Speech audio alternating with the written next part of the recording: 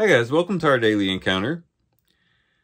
You know, whether we're thinking about uh, things happening globally, internationally, or even within our nation, or in our communities, or even in our personal lives, uh, we have to realize and recognize that this world is chaotic. Uh, we never know what's going to show up on the news the next day. We never know what's going to show up in our lives the next day uh, when we look in look at this world and we look at our lives in connection to this world, we don't really see a lot of stability. Uh, we never know when the rug's going to be pulled out from under us and everything's going to fall into chaos.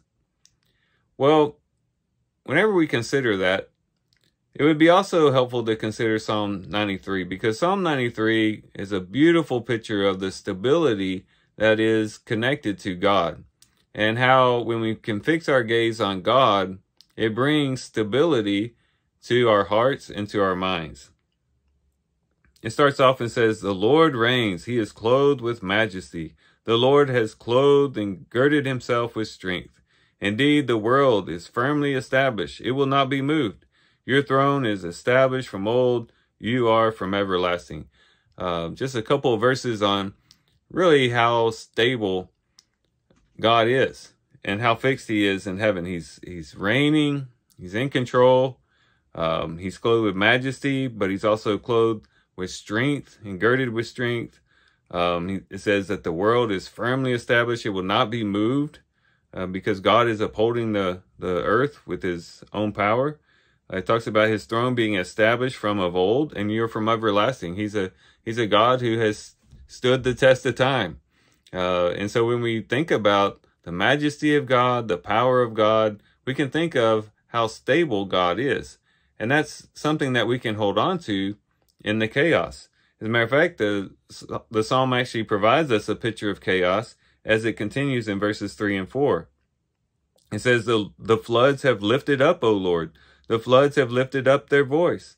The floods lift up their pounding waves, more than the sounds of many waters than the mighty breakers of the sea.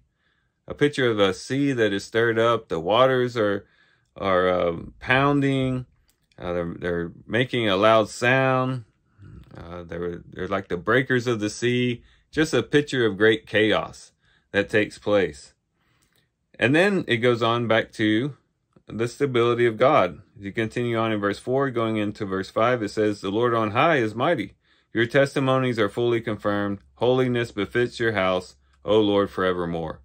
And so this psalm has a wonderful flow to it, starting off with the stability and connection to the majesty and might of God, into this chaotic picture of a stirred up sea, and then back into uh, the stability of God.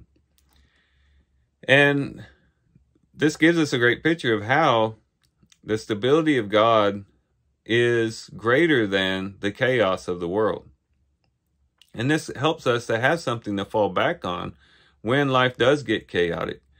You know, it might very well be the case that our day may start off like the like the start of the psalm. We might start off the day, uh, you know, with our minds focused on God's reign, uh, upon God's majesty. We might be thinking about how he's girded and clothed with strength, and we see how the world is firmly fixed because he's upholding it with his power.